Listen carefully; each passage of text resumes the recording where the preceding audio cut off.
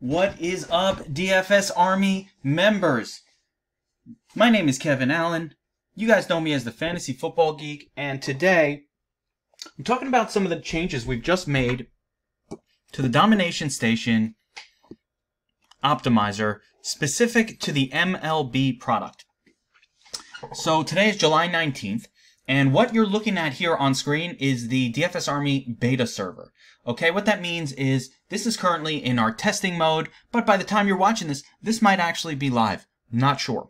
So what I'm going to do today is kind of go over a full overview of how to use the domination station for MLB, and also we're going to cover a lot of the new things that we've just added to the domination station to make it even better than before. Because that's what I'm always working on, guys. We're working on improving the tools, new dynamic things. You should see what I've got going on for NFL. It's going to blow your fucking minds.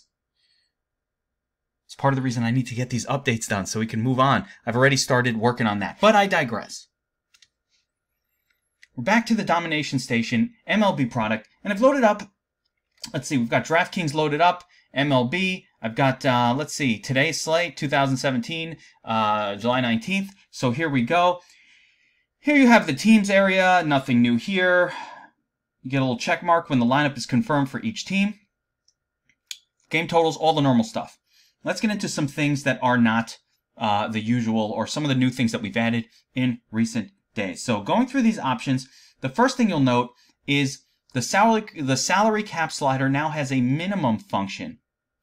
So you can set a minimum salary allowable for any lineup that you create. This is useful for when you um, create like really, really difficult parameters for creating lineups. Eventually start to get these lineups that leave too much money on the table because you're trying to stack these teams and, you know, the, there aren't enough high priced players or for whatever the reasons are. Okay. Okay. Doesn't matter. So you can set a minimum. Not sure you're going to use that in MLB very frequently, but it does come up in other sports. And it is a feature that you guys have requested. Here you set the number of lineups you make. I'm going to set this for 20 for the purpose of uh, this video just because we don't want to go. Actually, I'm, mm, I'm going to go 10. I don't, I don't want these runs as I show you examples to go for too long. Optimal or tournament mode. People are always confused about what optimal or tournament mode do does. It's all described very nicely over here. A lot of people don't like to read these little infographics, so I will just explain that when you go to tournament mode, what's happening is you are setting uh, a parameter that looks specifically at max exposures this number right here, max exposure. Look specifically at max exposure settings and we'll have a backwards look. So if you set a player at 50%, what, what the idea is is to spread that player out amongst all the lineups that you're generating rather than just the first five. Like if I set a player at 50% who's really high projected, um, at 50% max in optimal mode, he'll show up in the first 50% of lineups, then he won't show up anymore. In tournament mode, what he'll do is show up in a total of 50% of lineups, but he'll be in lineup number one, but not number two. Then he'll show again in lineup number three, but not number four. So it spreads out the player distribution amongst all of the lineups that you're creating. And the biggest positive that it has is, let's say you have two or three very highly projected value plays. What ends up happening if you set them all to 50, 50%, they'll show up together all three of them in the first 50% of lineups generated, and then you'll get none of them in the last 50%. Whereas what we want in order to try to win tournaments is an even distribution in case one of them busts, you have some lineups with just the other two, or if two of them bust, you have lineups with just one of them, etc., etc. So that's what tournament mode does. That's not even new. That's just what's here. The new component is this prioritize completing lineups above max exposure settings. This should always be checked off make it a habit of just checking that. I'm actually going to set it so that that default is checked. And that just cleans up a math issue um, that we've run into with tournament mode, um, where, you know, if you set too many people below 50%, it essentially looks back and it can't find anybody and then just freezes up the tool. It's a weird math thing. Um, just always check it off. As a matter of fact, at some point we might just build that in without having you check it at all. Uh, I did an example of how that works on the PGA video that I made for the new update as well, so you can check that out. I don't want to get too deep into it. All right, other new things. Uh, randomization percentage. Again, a lot of people asking me what this is and how it works. This just sets a randomization of plus or minus whatever percentage you set on the player projection that you select. So I'm gonna I'm gonna quickly jump to a position and I'm going to show you two similar projected players. Yeah, here we go. At, at the same price. The key is to find them at the same price. So let's see if we can find something, because I want to give an example. Okay, here's one. You've got two outfielders. Same price, 4900 One is projected at 7.98, the other one is 8.09. Now, here's the thing. An optimizer will always default to the slightly higher projection. But the reality is, and this is a lot of these changes have to do with this whole philosophy, this approach, but the reality is there isn't that much of a difference between a player with a, you know, one tenth of a point difference in projection versus another player. An optimizer, though, is very linear. It's always going to take the highest projected one. So it will jam this guy into every single lineup every single time. Now, I'm going to use this example for more than one thing, but uh, because actually this really works for some other stuff I want to talk about. But if you take a look at um, these two guys, again, the optimizer is going to always default to uh, Mercado here. But we don't really want that. That's not the best way to approach DFS at all. If the projections are close, you want a little bit of sort of mix of these guys. So with randomization on, what will happen is both of these projections, every lineup that's run will get a plus or minus 5%. In the case of an 8-point projection, that's about um, 0.40 uh, fantasy points plus or minus. So in that scenario, these two are likely to be almost mixed in 50-50. Like they're that close together, they're going to wind up mixing in 50-50. And here's another outfielder that's projected higher, right? So uh, for the same salary. So in the case of this guy, again, it would always default to him, but in this scenario, it's going to go back and forth a little bit because there'll be situations where this one is maybe 8.4 and this one's 8.8. Uh, 8. Point, let's say 4 as well. Like they're in some outer circumstances, these guys will even surpass uh, this guy in terms of their total projection. Um, speaking of which, so that's what randomization does.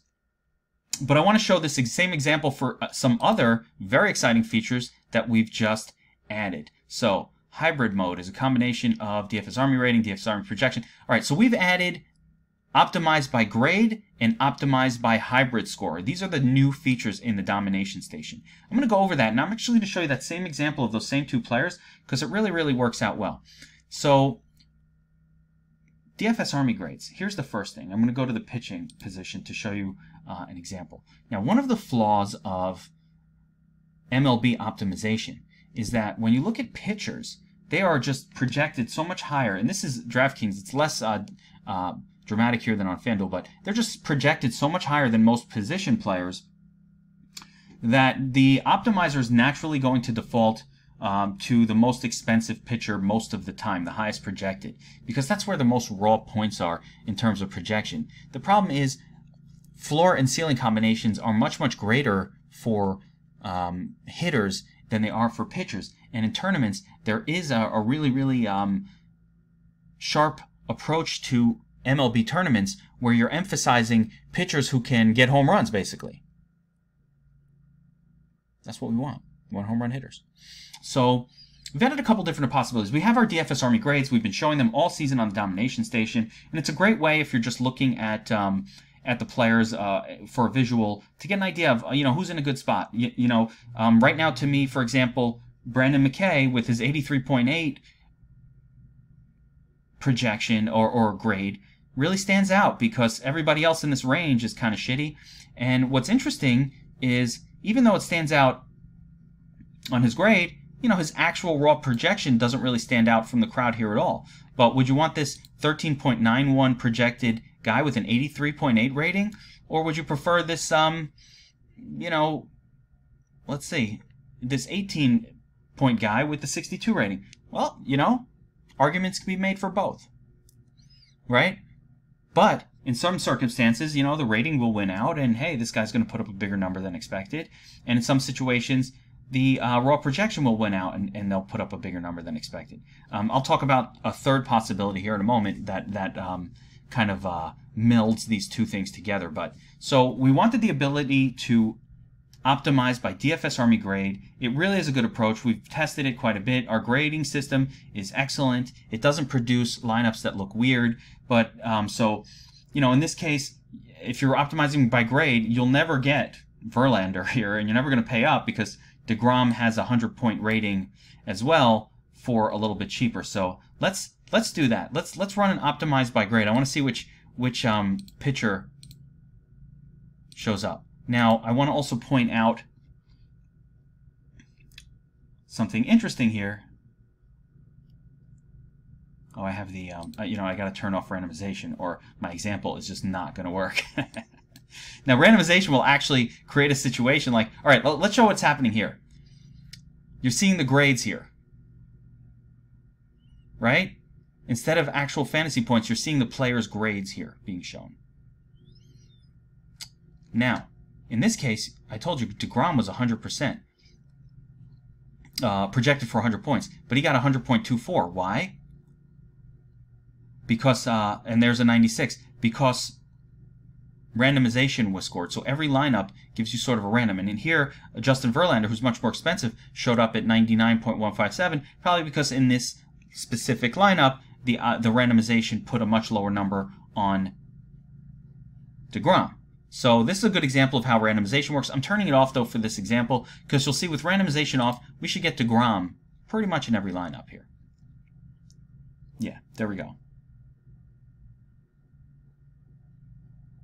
Oh, wait a minute. What did I turn off here? DFS Army grades.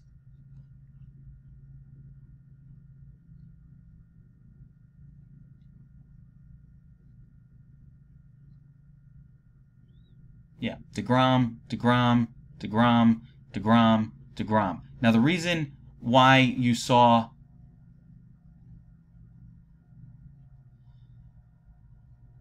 Yeah, Verlander in one is because we have DeGrom set to 99%. So it's gonna it's gonna default away from him, and it will get you um, Verlander in that one lineup because he's the next closest thing at 100. The other guy who's popping in a ton is Brendan McKay right? He should be in almost every single lineup. There he is.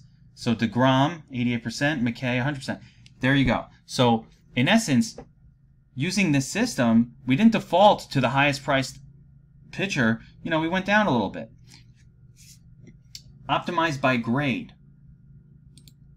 So for those of you who have liked the DFS Army grading system, we think it's awesome.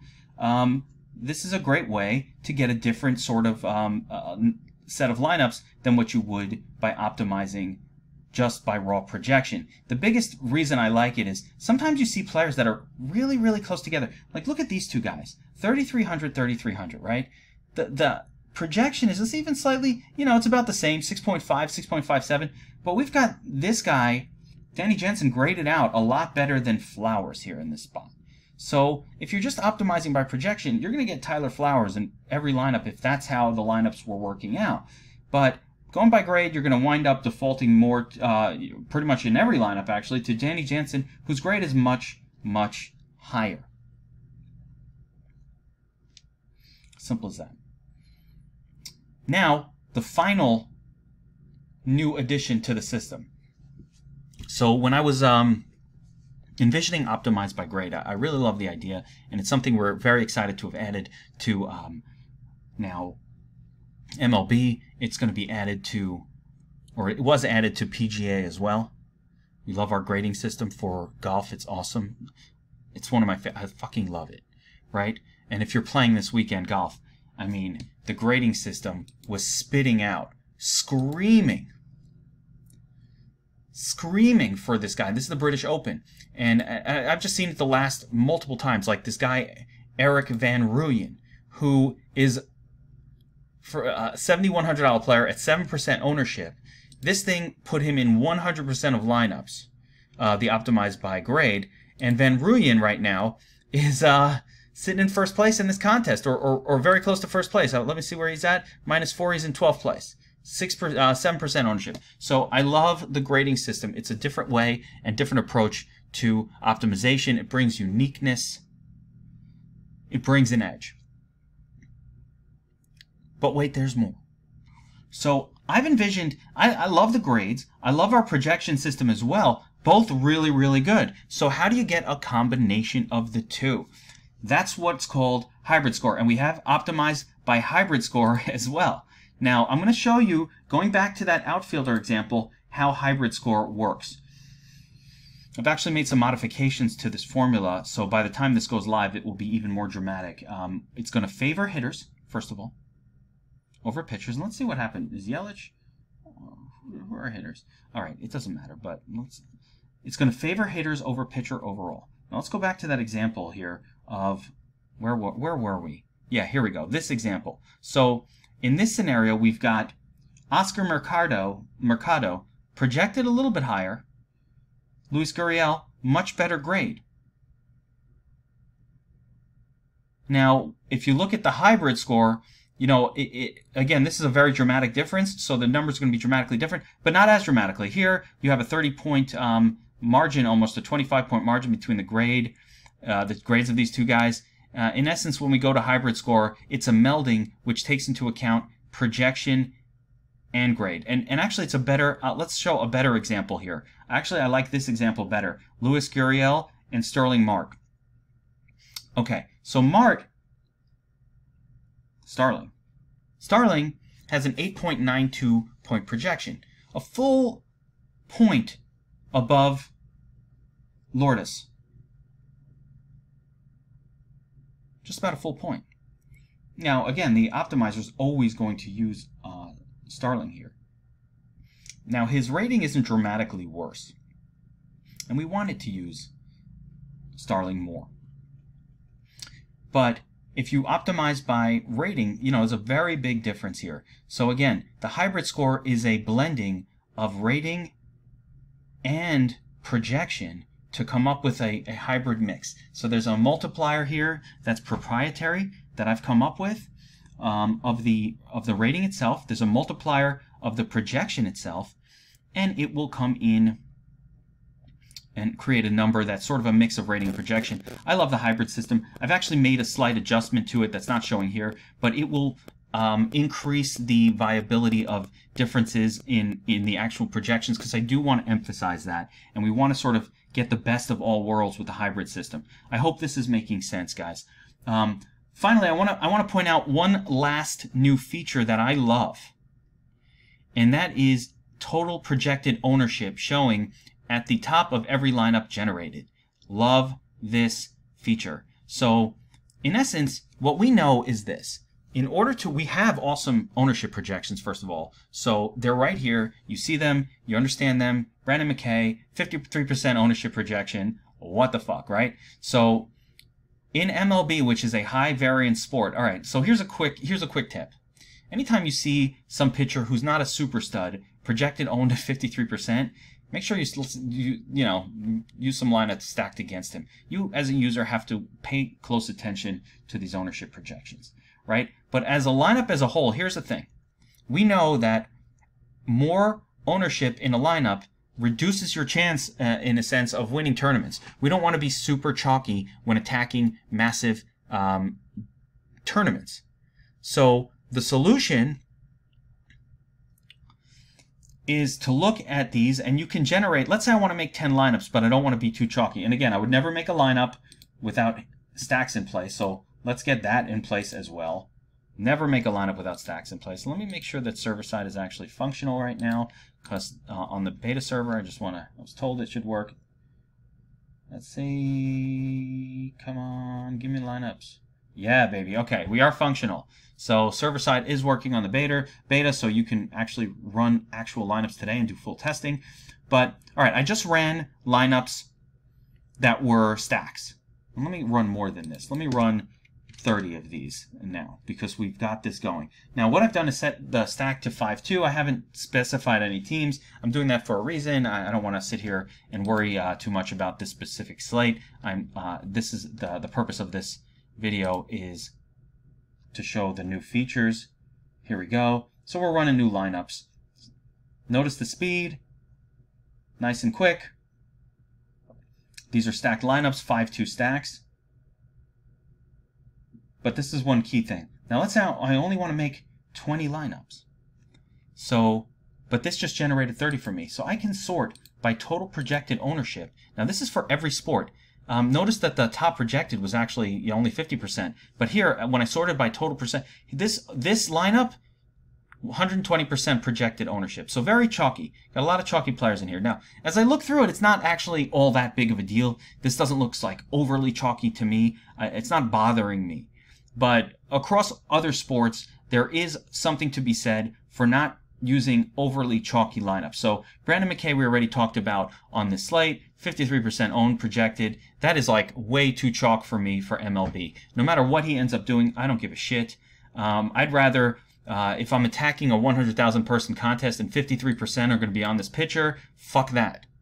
I don't want anything to, I'm, gonna, I'm fading him, right? So, but nonetheless, I mean, McKay showed up here, you know, okay, only 53% of lineups, so that is good. Did I use hybrid score? Yeah, I did. So there we go. All right. See, putting in hybrid score leveled it out a little bit. But here's what you could do. Boom. Just eliminate the high projected ownership lineups. I only wanted to make 20. So you can remove a bunch of these and just leave the ones that are under 100% or under 50%, whatever you want. Right? You could find your way to lower owned lineups like this. Look, you know, we've eliminated a bunch of them. How many are left? like you know download what yeah there's 17 left. So let's say i wanted to make 10 i could you know start with 30 and then just leave the bottom 10 ownerships. Now i'm not saying to do that. I'm just saying that is what you can do to avoid having uh, lineups with too high ownership. That really works in high variance sports. That works in most sports Okay, again, not saying to do that, and that I, this is not instruction on you know what you should always do every single time. Each slate is unique. Each approach is unique. You know, play them by ear in that sense. Do not just go out there and but but this is a, a cool feature. So the ability to sort lineups by projected total projected ownership and do what you want with that information. Remove. I've already talked about how I use projected ownership to create lineups um, all the time. That's a very, very important factor. And you have to understand what kind of contest you're attacking to make it work. So again, to go over everything, what we've added, salary cap minimum slider, randomization percentage, the ability to sort by not just fantasy points like we always did, but DFS Army grades and hybrid scores. Now, I did get a question in Slack as far as why, um, even when I change to, for example, sort by grades, do the grades not pop up into this column? Or if I choose to sort by hybrid score, and you need to press go, but um, the hybrid scores do not pop up in this column. Now I'm going to explain why and explain how you as the user can control it. So if I'm optimizing by grade, when you're strictly going by the DFS Army grade, that's it. There's no adjusting it. All you can do is use min, max exposures to control your exposures. You're not going to change these grades. They're locked into stone. Um, one thing to be concerned about, every now and again, you get a player with a zero grade. And we're going to try to avoid having this happen. We're going to try to manually fill these in. But the reason that happens is there are some parameters in the DFS Army grading system. Like if a guy was just on IR and hadn't played in, in a couple weeks, we, we can't give them a grade. Part of the grades come with recent performance and stuff like that. So, um, you know, there are components of the grade that take that into account. So we're going to try to do our best to manually update these whenever these type of things happen. These are usually somebody just getting called up from uh, from uh, IR or you know something along those lines. There's some reason they haven't been playing, and generally it wasn't assumed whenever we were running the grades that these people were going to be playing. So we're going to try to avoid that, but it's something to keep in mind and be aware of. Okay, secondarily, I mentioned before, if you're going to optimize by grade, you can't adjust it. All you can do is control min-max exposures. You can uncheck a player. You can control their exposures using these settings. But hybrid score has a pretty cool way uh, that, that we've come up with to control it. Now, before I talk about that, the reason that switching to DFS Army grades doesn't shift the grade into this column for you to adjust is because the way our logic works on the domination station, putting a zero on a player removes them from the player pool. Watch what happens. He's gone. Where is he? In exclusions.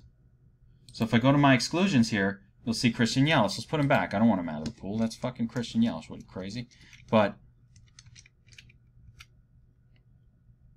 we needed to keep the logic of that column the same because we don't want to end up with players whose projections are zeroed out because they're not expected to play today, still ending up in your lineup. So that is why we maintained that even as you change to optimize by grade or optimize by hybrid score, it doesn't change this column. But here's the cool thing, hybrid score. Now, let's say I'm optimizing my hybrid score, which again is my personal preferred method because it does take into account both grade and projection. If I want to raise the hybrid score, I can raise this number. I'm going to raise it to 20, and look what happens. Let's see what happens to the hybrid score. I haven't even tested this yet. Boom. Because projection is a component of the hybrid score, you can still change your hybrid score by changing this number. So likes and dislikes, that all does have an effect on the hybrid score. Very cool. Very cool. So let's see here. Yelich 5900, Trout 5800, 10.6, 10.1. 100 grade, 100 grade. Yelich is slightly higher. You know, when you look at the hybrid score, all all remains the same. In this case, the difference between the two players is yeah, it should be about the same. It's it's about 0.0 uh, let's see, this is about point, um, 0.6 exactly difference. And here, when you go to the hybrid score, it's about 1.2 difference. 71.2, and 70. So on a percentage basis, it's less dramatic.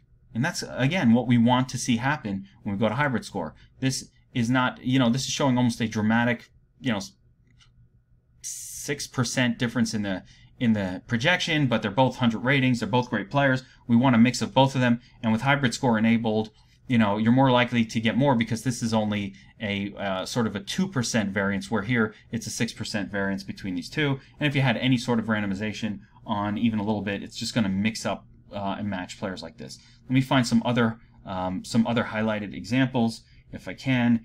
All right, here's one. All right, this is one. I, well, trying to see any any kind of interesting examples of how hybrid score really works. But you know, here two similarly rated players. Um, this guy Soto is projected quite a bit higher than um, Rosario.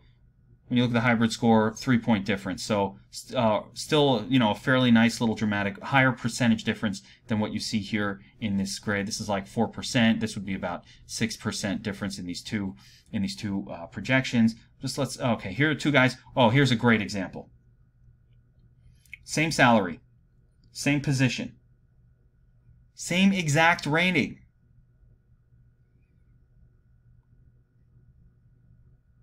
Pham, 10.3. Poog, Puig, 8.8. When you look at the hybrid score, the favor is still Pham. If you just went by projection, I mean, it would be all Pham. With the hybrid score, it, it mixes them up. It, it kind of mutes it a little bit. I'm trying to see another scenario where I can show uh, an interesting example. All right, here's another interesting example. Um, in the case of this one,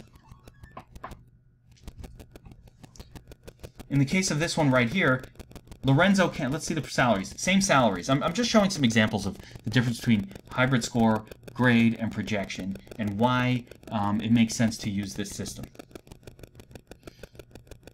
Cain, 84.6 point grade. Peterson, 93.1. So this player has a higher rating, but a slightly lower projection. They're very close, the projection, but slightly, I mean, the higher, the rating is slightly higher. So if you defaulted to projection, you would get all Lorenzo Cain in this in this salary range. You ain't getting this guy. It's got a low projection and a low rating. So you get all Lorenzo Cain. But we have Peterson rated slightly higher. So if you go to hybrid score, the, the difference is muted a little bit. So in the case of the hybrid score, when you look at it, this one's uh, the difference here is uh, the difference here is dramatic. Again, it's just a more muted difference between the projections of these two players. Where if you just went by projection, you'd get Cain. If you went by hybrid score or or grade, you would get Josh Josh Peterson. So just an example of how this works. I've actually um, made an adjustment. So these hybrid scores are going to change a little bit. I've adjusted um, to add more emphasis on the projection itself and the difference in the two projections of different players because um, the initial system, as I see it right now, uh, does favor grades more than I want it to. So by the time Monday rolls around, these numbers will look different. So that's just a formulaic change I made once I kind of have been testing this out. But all that said, I couldn't be more excited to bring this final MLB update to you guys. Um, again, you already know how to use the domination station the sharp way. I always suggest using legacy randomized hitter stacks. This is my favorite um, stack type right now. If you're attacking tournaments like the $1 or the um, $4 or mass entry, the, the 11s, whatever it is, you should always have stacked lineups. We've seen the last few days that certain teams go off for 16 runs. The only way you win the tournament is if you have five players from that team in your lineup. I, I saw the last couple days we've had multiple 16 run scorers, and that's how you win tournaments. That's how you win tournaments. You you um, basically score 16. You you stack the team that scores 16. Sorry, I'm distracted by that phone ringing. Um, you you choose the team that scores 16 runs that day, and you stack them. Correlation is everything in MLB. So use this function gotta pause it. No, there it ended. Okay, there we go. So use this function, MLB hitter stack rules. Set your stacks. You could do, this is uh, DraftKings, you could do 5-3. I prefer 5-2. I like the one-offs. I like stacks to allow one-off um, batters in there, and you could choose who those guys are by by um, uh, liking or loving or, or, or adoring players. And feel free to check out sort uh, optimized by grade, feel free to check out optimized by hybrid score. Again, my preference is hybrid score, but it gives you a lot of different options here, and each of these systems is going to give you unique and different lineups, certainly from the outside world, which is not using, these are completely custom. Um, nobody has this uh, sort of system in place. Uh, we've tested this. We've tested so optimized by grade. It works. It's a solid approach. Um, I've been testing optimized by hybrid score as well. Um, I can just tell you that it's going to work. It's going to be great. Optimized by projection is great. You don't have to change just because there's a new feature here. Again, there's a lot of new features that pop up, but this is for those of you who want to kind of approach things differently. Um, use these features. They are awesome, and we're really excited to bring them to you. And just a little heads up, if you've made it all the way this far through this video, Next up for the Domination Station, we will be adding college football uh, coverage. Um, it's going to be awesome. College football season starts uh, towards the end of August, so we expect to have it ready and up and running by the time college football season hits. And we are working on a all new and amazing version of NFL stacking, which I call correlation mode. It's got a correlation boost. Everything is about building smart lineups to attack tournaments. That's what we're trying to do. We're trying to find new and innovative ways to create lineups that are designed to win tournaments. It's that simple.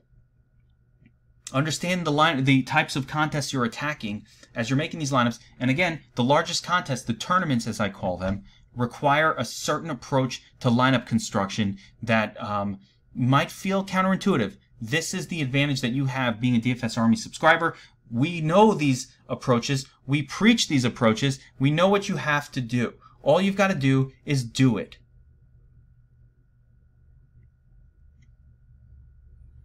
All you've got to do is do it. Stack those lineups. All right, that's it for now, guys. Good luck this week. Um, underneath this video posted in our team forums, I will have the link to the Domination Station beta server. That should be up. We need you testing this. Use it, run it, check it out. It's not live yet, but everything here should be fully functional. If you find any issues with anything here, please let us know. We will clean those up before it goes live.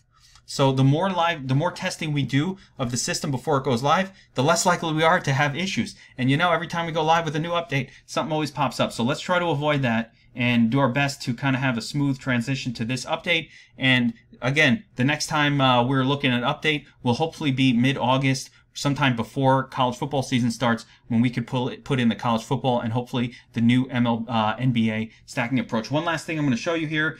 Um, when you run stacks, you can now you will now see get a readout of what teams were used in stacks. And if you'll note, the way our system works with randomized, you get a really nice mix of pretty much every team available uh, as part of a stack. If you don't want it to be sort of random in terms of team selection, you should set your parameters as you like them. So if I loved Boston this week, I can go 100% and they will show up in 100% of lineups as far as one of these stacks. And I could go 50% and I can go 30%. I never uh, advise going over 200% in this case because going over 200% is impossible. There's only two um, stack teams, and even going all the way up to 200% just leaves you no leeway. And we want to leave the tool